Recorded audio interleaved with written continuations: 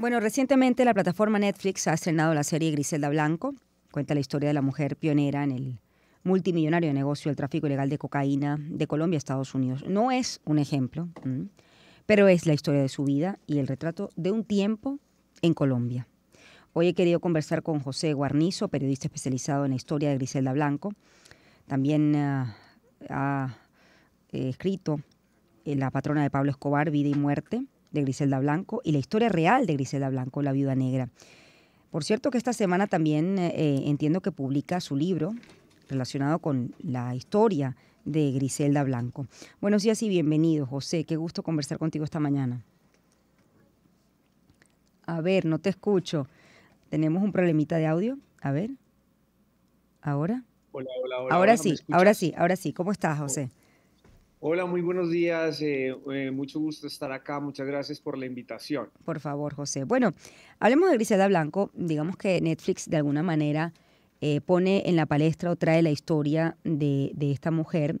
como te decía al principio, bueno, no es ejemplo, pero es la historia de Colombia, ¿no? ¿Quién es este personaje y por qué, digamos, en este momento se habla sobre ella desde el punto de vista mediático, ¿no? Bueno, no, yo, creo que sin duda la serie de Sofía Vergara trajo de nuevo el interés hacia Griselda. Eh, yo que llevo ya como 12 años eh, documentando su historia, ha habido momentos en los que la gente no habla de Griselda Blanco y, nuevamente volvió un poco como a la conversación cotidiana a raíz de la serie. Griselda Blanco eh, fue una mujer que nació en un barrio de Medellín que se llama Barrio Antioquia eh, es un barrio que tiene muchos problemas sociales, es un barrio donde se transan negocios de narcotráfico y donde uno podría encontrar la prehistoria del narcotráfico, es decir, esas primeras personas que comenzaron a llevar cocaína a Estados Unidos, finalizando la década del 70 del siglo XX. Ella fue una de las primeras personas que empezó a, a ejercer este negocio al punto que a finales de los 70 ella ya tenía un indictment del Departamento de Justicia de Estados Unidos por enviar pequeñas cantidades de cocaína a Nueva York. Eh, yo creo que eh, la figura de Griselda está retratada en un documental muy famoso que se llamaba Cocaine Cowboys y que muestran, así como la serie de Sofía Vergara, ese periodo de Griselda en Miami entre 1980 y 1985, que según eh, el, agente de la DEA, Bob Palombo, dejó más o menos 100 muertos en Miami. Ahora, lo que resalta de esta historia es que el mundo del narcotráfico es un mundo muy masculino. Es decir, lo que hace que Griselda Blanco, digamos, em, resalte en esto es que pudo entrar en un negocio que era de entorno masculino o, contrario a lo que se piensa, las mujeres están también muy vinculadas o estaban muy vinculadas a ese negocio. No, yo creo que sin duda la historia de Griselda es una historia salida del molde, no es una historia habitual. Yo creo que haber llegado siendo mujer a, ser pues, la, líder de una organización criminal no la hace una heroína, pero sí la hace la, convierte en un caso extraño, un, caso distinto. Eh, Griselda, yo creo que, que logró de cierta manera eh, eh, posicionarse en medio de, todo lo que implican las guerras del narcotráfico, eh, encender muchísimas guerras, avivar muchísimas guerras y a su paso dejó muchísimos muertos. Griselda, según la DEA, estuvo involucrada casi que en un centenar de homicidios, aunque solamente le pudieron imputar tres, tres homicidios, que fue la pareja de unos esposos y el asesinato de un niño de tres años. Hmm. Ahora, a la par, eh, tú que has estudiado mm, para escribir sobre ella, ¿no? A la par, ella era madre.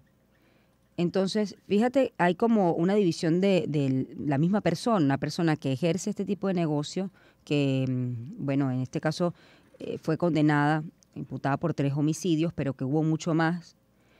La pregunta es, ¿se puede entender a, a Griselda Blanco desde dos formas distintas? Es decir, Griselda era una en casa y otra en calle? Sí, no, sin duda. Ella fue madre de cuatro hijos. Eh, dos de ellos fueron asesinados eh, en medio de las guerras de los carteles. Eh, y bueno, hay un, hay un periodo, por ejemplo, de la vida de ella que fue antes de que se fuera a Estados Unidos, a Miami, que vivió en Medellín y que vivió como ese ascenso social, por decirlo de alguna manera. Ella vivía en Barrio Antiguo, que el barrio que les acabo de comentar. Y cuando ella empieza a hacer como esos primeros eh, envíos de, esta sustancia a, a Estados Unidos, pues consigue mucho dinero y se traslada a vivir al barrio donde vivían los ricos de Medellín, la gente rica que en esa época estamos hablando del barrio Laureles, eh, y ella pone a sus hijos a estudiar en el mejor colegio y ahí se empieza a, a ver pues un fenómeno bastante particular que se siguió repitiendo a lo largo de los años en Colombia y es como el ascenso social de los mafiosos que entran a estudiar a los mejores colegios y empiezan a tener relaciones con gente de la, alta sociedad colombiana. Eh, todo ese periodo, bueno, así como lo decías al principio, eh, estamos por publicar en Colombia un libro que se llama Griselda, la historia real, con la editorial Planeta Colombia. Y, bueno, ahí está retratado sobre todo toda esa parte de, de, la vida de Griselda previo a su llegada a los Estados Unidos.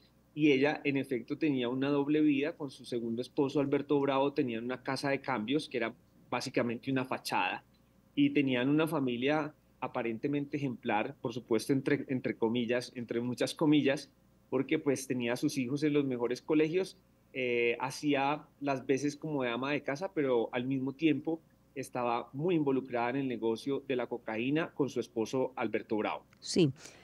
Ahora, las, fíjate que me dice esto, estás por publicar eh, el libro con Planeta, está la serie de Netflix, ¿no? Eh, la pregunta es si las narconovelas siguen siendo un relato rentable. Y también otra cosa que me llama la atención, esto, esto, esto ha generado polémica, es por qué contar esta historia. No es un ejemplo.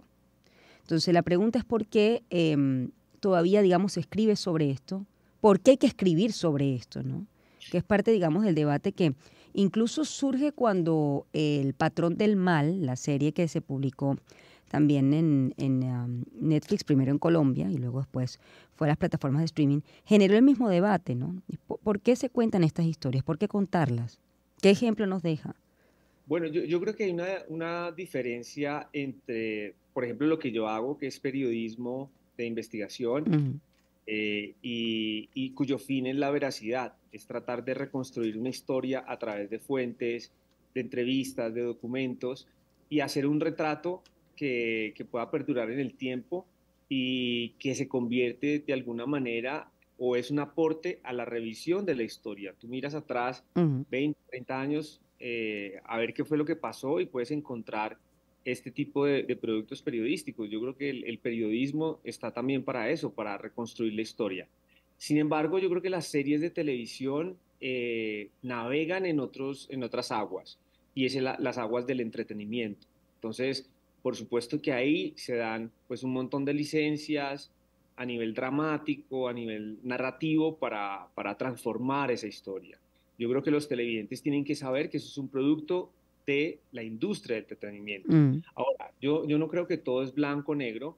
Eh, hay, hay productos eh, de esa índole que a los que uno les ve la intención de, de, tratar de ser fieles a la realidad. Yo creo que El Patrón del Mal es una serie que, que, que intenta tomarle una fotografía a la sociedad colombiana.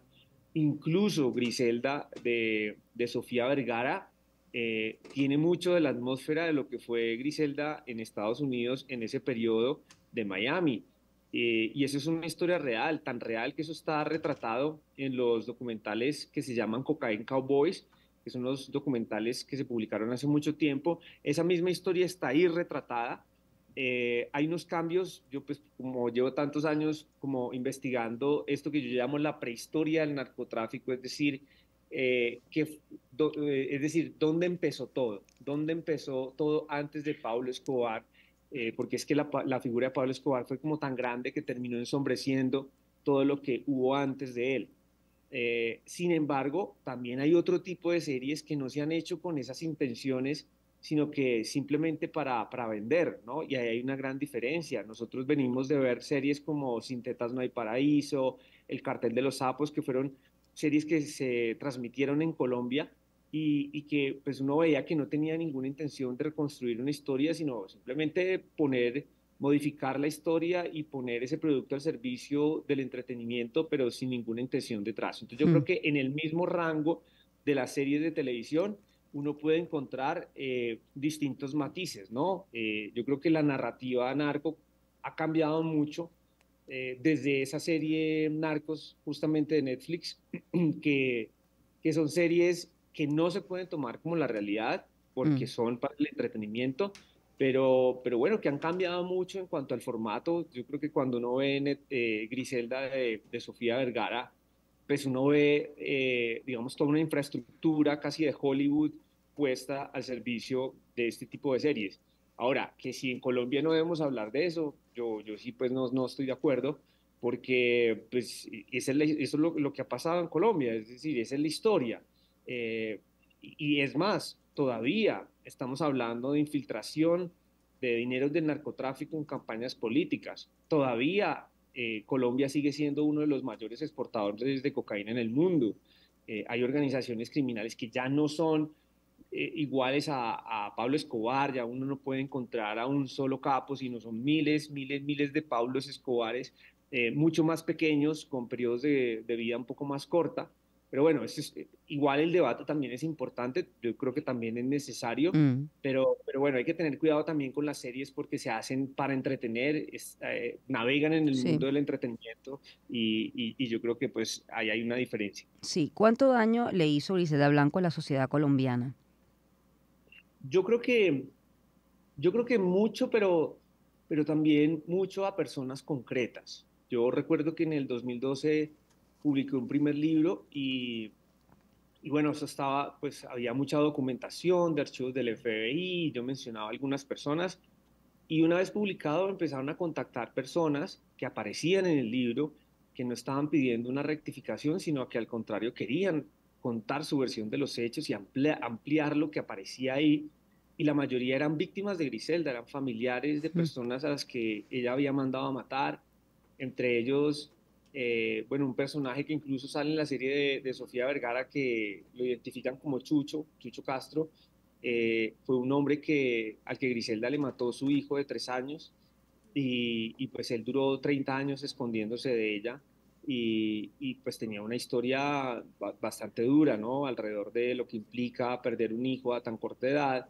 Mm, entonces creo que, que dejó muchas heridas, sin duda. Yo, creo que ella misma era consciente de, lo que hizo, de lo que generó, y no solamente ella, eh, un montón, un puñado de hombres y mujeres que ejercieron ese negocio y que terminaron por, por inundar de coca Miami a comienzos de los 80 y, por otro lado terminaron matando mucha gente.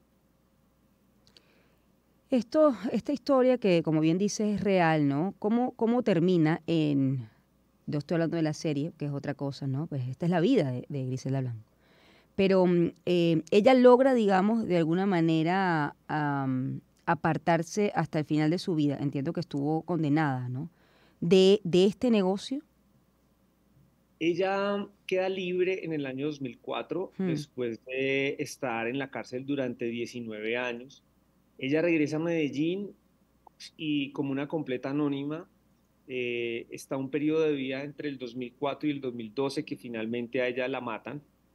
Eh, ella durante ese periodo no tenía ni siquiera una multa de tránsito, eh, todo lo que había hecho en los años 70 no, no, no estaba, digamos que en esa época la justicia, si no opera ahora a veces, en esa época no había como, mm, la, la justicia era muy incipiente, entonces ella se dedicó a vender y comprar propiedades que le habían quedado incluso a su nombre y a nombre de sus familiares. Mm. Que nunca se las quitaron.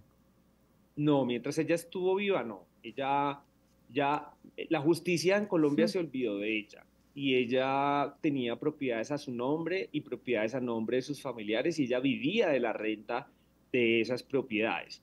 Cuando ella regresó, Medellín ya era otra, Medellín ya tenía otros jefes, otros capos, otra, otra gente, Y, ella, a pesar de que, bueno, hay personas que dicen que ella intentó volver al negocio, y, ella ya no, no, tenía ni el poder ni, ni la edad como para, para mm. continuar con el negocio. Al final a ella la, la matan, la mata un sicario eh, en Medellín. Esto al parecer tiene que ver con unas tierras que ella quiso reclamar que estaban a nombre de testaferros y que testaferros que no estaban dispuestos a devolverlas. En el ámbito, en ese, en ese mundo, digamos, ¿no? del, narcotráfico, em, ella entiendo que gozaba, entre comillas, del respeto de Pablo Escobar.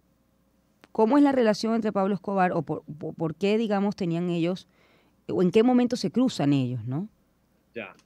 Sí, pues yo creo que Griselda empezó en el negocio mucho antes que Pablo Escobar cuando Pablo Escobar andaba en una moto lambreta en Medellín, eh, que estaba en la flor de su juventud, que se dedicaba a robar carros y, al contrabando, Griselda ya era una mujer eh, con un nombre en la mafia, ya era rica, ya tenía poder, ya tenía dinero.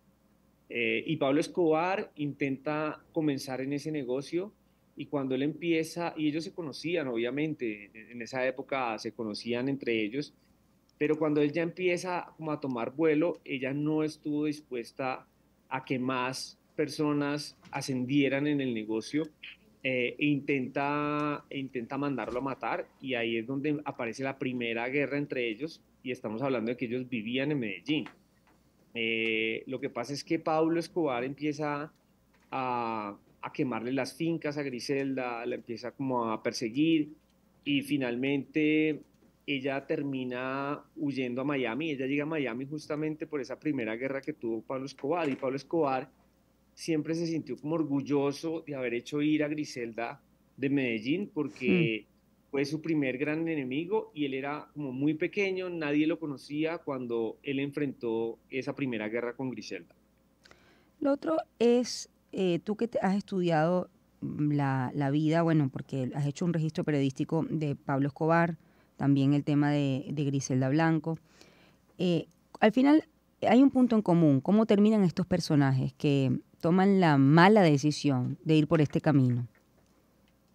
Sí, no, yo creo que la, historia ha demostrado que son personas que difícilmente llegan a viejos, aunque Griselda llegó a vieja, aunque después de pagar 19 años de cárcel, pero pues terminó asesinada eh, yo creo que son muy pocos los, los jefes de la mafia que terminan bien. De hecho, hoy en día cada vez mueren más jóvenes. Sus periodos de, estar en la, la, supuesta cima de estas organizaciones son periodos más cortos.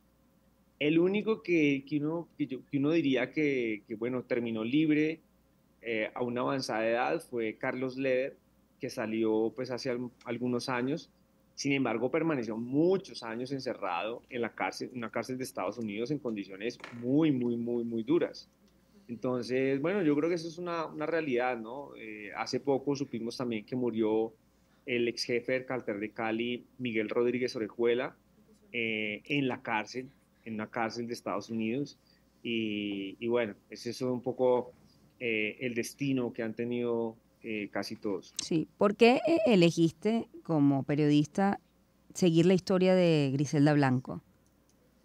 Sí, mira, yo creo que fue por casualidad, la verdad, yo no, eso fue como que una cosa fue llevando a la otra y fue llevando a la otra y mira, ya llevo 12 años. Eh, yo trabajaba en el diario El Colombiano como periodista judicial hace 13, 14 años y algún día llegó a la sala de redacción alguien a poner una denuncia y ninguno de mis compañeros le, paró bolas. Como que, como no, nadie, quería, era una, una, denuncia muy, muy pequeña y era mm. que un rector en un colegio tenía un problema con los padres y porque sacaba, un día sacó una pistola, entonces, bueno, y, y, mis compañeros estaban muy ocupados y no era como una historia muy, muy importante yo como que le paré bolas a ese señor, me senté con él a hablar, le, le tomé los datos de la denuncia, le publiqué la denuncia y resultó que este señor eh, después me llamaba y me contaba más, como más denuncias, y denuncias muy pequeñas, ¿no? Y luego supe que, después me, me, senté a tomar café con él y supe que él había sido sicario, que había salido de una cárcel, de, que había estado pagando cárcel en Nueva York, eh, por narcotráfico y después fui sabiendo que me fue contando que había trabajado para Griselda Blanco y después me seguí reuniendo con él eh, y escuchaba esa historia, me parecía muy impresionante porque Griselda estaba viva todavía y, y de golpe, bueno, yo renuncié al colombiano, eh, estaba un poco ya como cansado, quería hacer otra cosa. Mm. cuando supe que mataron a Griselda me acordé de este señor, fui y hablé con él eh, y ahí publiqué un primer artículo que salió publicado en el País de España, que de hecho salió publicado por, por cosas de la vida, porque yo no ya no tenía dónde publicar y, y, llamé a una persona para entrevistarla y, y bueno, dieron conmigo y se dieron cuenta que yo estaba haciendo esa historia y a los 10 minutos me llamaron también para preguntarme si quería escribir un libro y yo pues no tenía trabajo en ese momento, entonces escribí un libro y luego vino una serie de televisión y bueno, aquí estamos. Aquí estamos conversando sobre esto. Yo tengo que finalizar, eh, José. Em, ¿Cómo evalúas? Porque creo que la crítica está dividida, ¿no? ¿Cómo evalúas la, la serie? Ya que tú has escrito, conoces la historia, ¿no? Mm. Eh, tienes el criterio para evaluar la serie que ha presentado ahora Netflix de la mano de Sofía Vergara. Y con eso me despido porque ya tengo la otra invitada. Ya, yo francamente creo que es una buena serie. O sea, es una, es una serie con una factura importante. Eh, yo creo que logra de alguna manera retratar esa atmósfera que creó Griselda eh, en, en, Miami. Hay, hay algunas cosas que están cambiadas, eh, que, que, no fueron así, pero, pero yo creo que para los productos que estamos acostumbrados hace algunos años, yo creo que eh, Sofía Vergara se la metió toda, eh, se nota que la industria tiene tremendos guionistas, eh, vestuarios, o sea, yo, creo que puede parecer por momentos como muy fuerte, pero bueno, creo que eso fue lo que, lo que pasó y bueno, le agregan un par de cosas que, seguramente nunca ocurrieron, pero pues me parece que, es, es, una serie de una factura importante. ¿Fue más poderosa que Pablo Escobar? No, no, yo creo que no, no. Pablo Escobar se enfrentó al Estado, mató cuatro mil personas eh, y, y la huella negra que dejó Pablo Escobar en Colombia, yo creo que no se compara con la de ninguna otra persona. Te agradezco mucho, José. ¿Cuándo sale el libro? ¿La próxima semana? Yo creo que más o menos en un mes vamos a mm. estar listos para la Feria del Libro de Bogotá, para Filbo, y, bueno, pues ahí estamos, estamos cerca, ya, ya está, se está yendo a impresión. La historia es real de Griselda Blanco, es el título. Sí, Griselda, la historia real. Griselda, la historia real, de José Guarnizo, quien me ha acompañado esta mañana, periodista especializado en la historia de Griselda Blanco. Gracias, José, por atendernos tan, tan tempranito. Tú allá, creo que en Colombia, nosotros aquí en Venezuela. Vamos a hacer una pausa, ya volvemos. Sonidos, que te envolverán en un mundo de emociones. Son más de 107 estilos.